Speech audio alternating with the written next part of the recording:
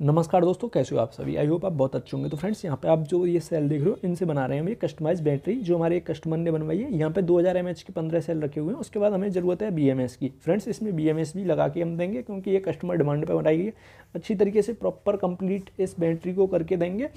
और अगर आप भी कोई बैटरी बनवाना चाह रहे हो तो आप बनवा सकते हो। अच्छी तरीके से जैसे मैं इस वीडियो में बना के दिखा रहा हूँ, उस तरीके से बनाएँगे। तो यहाँ पर मैंने सारा सामान रख लिया, जैसे सेल स्पेसर बी और ये होगी निकल स्ट्रिप फ्रेंड्स ये जो निकल स्ट्रिप होती है, ये कनेक्शंस के अंदर यूज़ होती है, जो भी हम कनेक्शन करते हैं। तो फ्रेंड्स यहाँ पे हम बैटरी बनाना स्टार्ट करते हैं। तो सबसे पहले जितने भी यहाँ पे ये बैटरीज यानी सेल रखे हुए हैं, इनके वोल्टेज हम चेक करेंगे। अगर कोई बैटरी है उसका वोल्ट कम है या ज़ीरो वोल्ट है तो वो ख़राब होती है तो उसको निकाल देते हैं।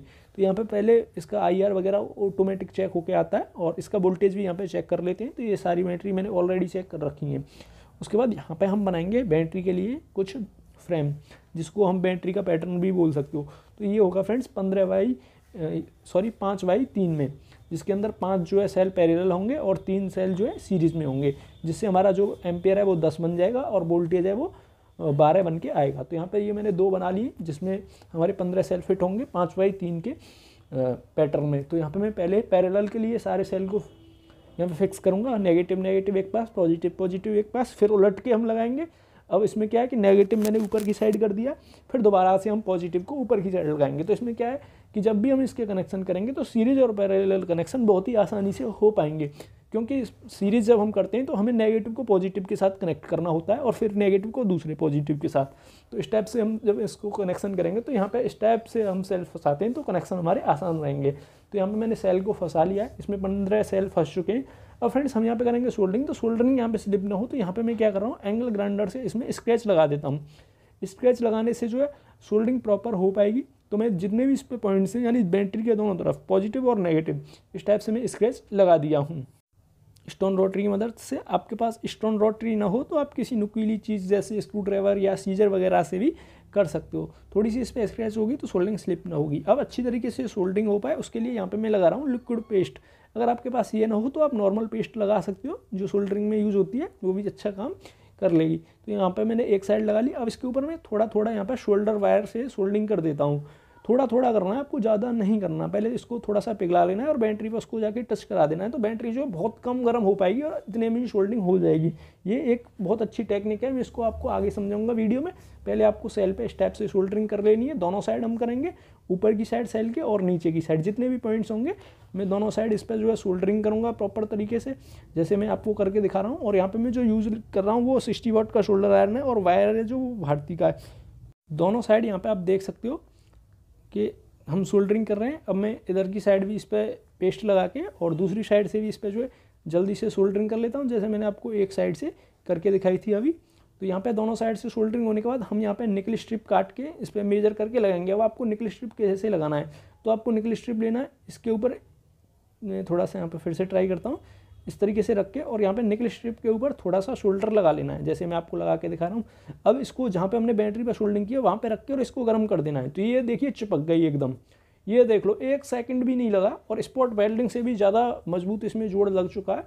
अब मैं आपको यहाँ पर दूसरे पॉइंट पर भी करके दिखा दूँ। अब दूसरे पॉइंट पर आपको इस जैसे जो है वायर नीचे घुसाना है और उसको पिघला के और ऊपर से उसको प्रेस कर देना है। तो यहाँ पे ये देख लीजिए, दूसरा भी लग के एकदम फिक्स हो चुका है। अब मैं तीसरे पे भी करके दिखा देता हूँ।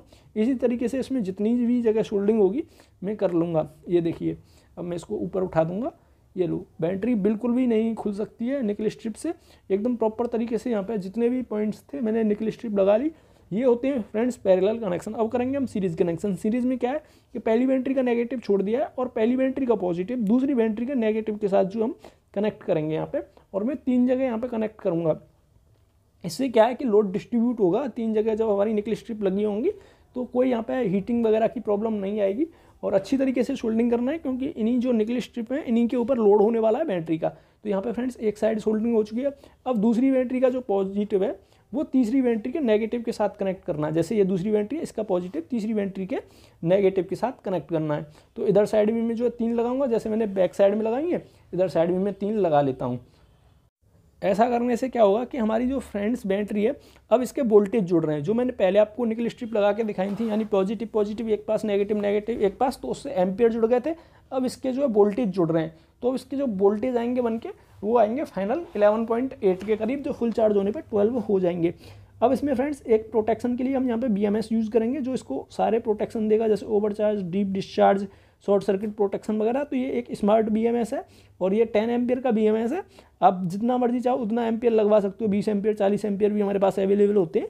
तो उन्होंने दस एम्पियर की बैटरी है तो ऑर्डर दिया था तो हम दस एम्पियर का यहाँ पे बी लगा रहे हैं। और बीएमएस का जो पॉजिटिव वायर है, वो थोड़ा सा हैवी रखना है।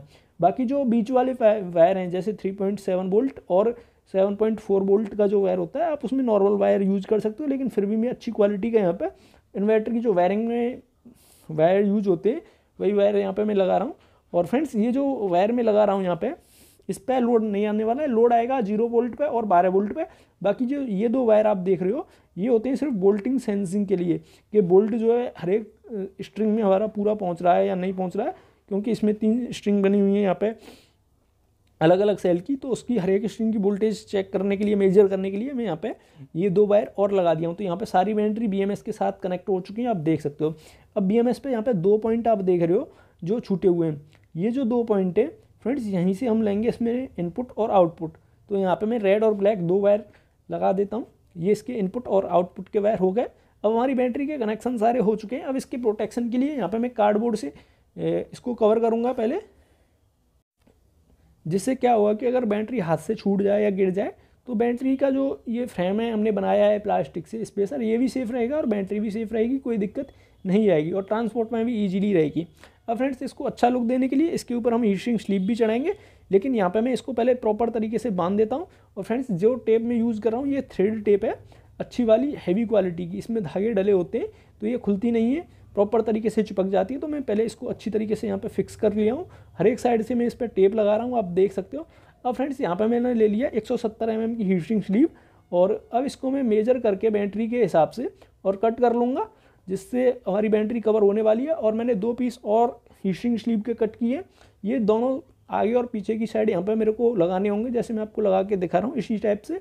और दूसरी साइड से भी मैंने लगा लिया है। अब इसके ऊपर मैं फाइनल कवर जो है चढ़ा दूँगा। फाइनल कवर चढ़ने के बाद अब इसको हम हीटिंग को पिघलाएँगे। तो इसको पिघलाने के लिए यहाँ पे हॉट एयर गन का मैं यूज़ कर रहा हूँ। ये हॉट एयर गन से ही चिपकती है।